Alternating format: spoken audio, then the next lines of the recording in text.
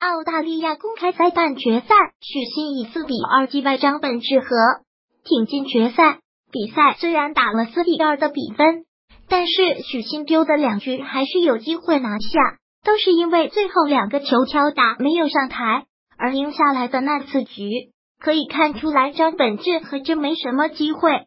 第四局彻底被打哑火，面对许昕的正手弧圈球，张本智和办法不是很多，全场都打得很被动。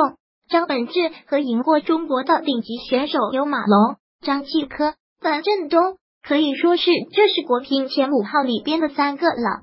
樊振东是在亚洲杯小组赛以一到三输给了张本智和，张继科则是输了两次，就连地表最强选手马龙也在日本公开赛输了一次，而许昕和张本智和打了三次，全部赢球，其中包括一次一比三落后的逆转。许昕对打张板的球很有信心。基本上节奏也都在自己掌握之中。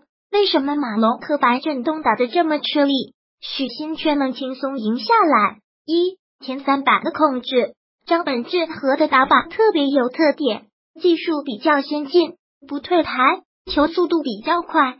马龙的球也是以速度著称，但是还是离张本智和有了一定的差距。张继科在中国公开赛首轮被淘汰出局，提到了非常重要的一点。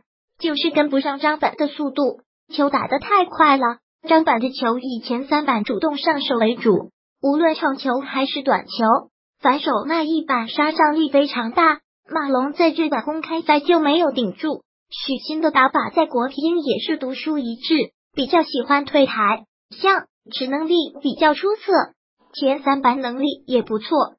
在昨天和张本的比赛中，张本接发球办法不是很多。总想主动上手，但是找不到机会。好不容易你拉一个，但是许昕正手早就等好了，直接就是一板反拉。最后一局，张本开始搏命式的打法，接发球搓一板，直接用反手去拉高质量，但是全部都拉丢了。这说明许昕前三板对张本控制的特别好。二个人气势。所有人都知道张本智和在每拿一分以后叫声特别的大，一些心态不是特别好的球员常常会被张本智和喊的心烦意乱，有时候看直播的球迷都会被喊的不耐烦，这也是张本智和的特点，利用喊叫声给对手施压。日本公开赛碰到马龙，马龙的气势就完全输给张本智和了。主要也和马龙赛前过高高估对手有一定的关系。看许昕和张本智和打比赛，许昕也在喊，喊的声音虽然不大，感觉特别有底气，气势不输对手。单论球技的话，许昕已经赢了一大半。